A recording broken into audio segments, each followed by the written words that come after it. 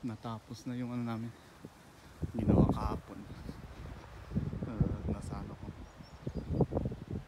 tabi ng dagat.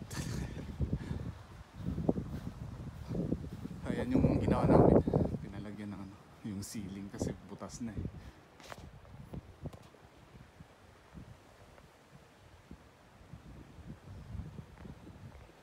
So yung ano nga to yung building na to bahay na to is ano to Otera.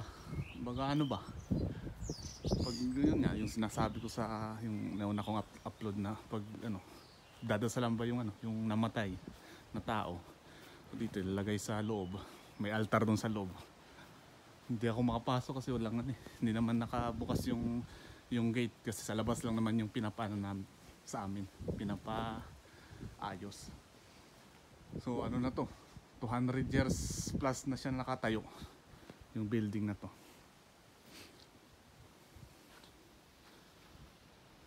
Ayun, sabi ko sa inyo na mahal-mahal na ano nila dito. Nang, ayun, yung tawag nito. Tawag sa atin yan. Maganohan ng libingan ba? Ang ganto, ganto, nakita nyo. Pamahal.